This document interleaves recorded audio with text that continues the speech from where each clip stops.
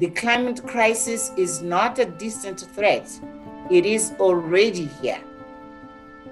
While the so called developed world of the global north braces for the future impact of climate change, millions in the global south have already been living with its devastating consequences. We have witnessed the pain of entire communities who have lost lives, livelihoods, homes, and family belongings to extreme weather events. In my own country of Mozambique, tropical cyclones Idai and Kenneth caused a huge loss of life and widespread displacement in 2019.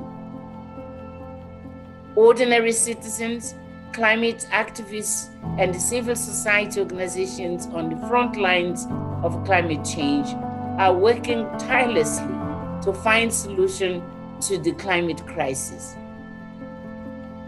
Increased investment in renewable energy and climate resilient infrastructure are needed for countries in the global south so they are able to transition to low carbon energy sources while still meeting critical development and economic growth targets.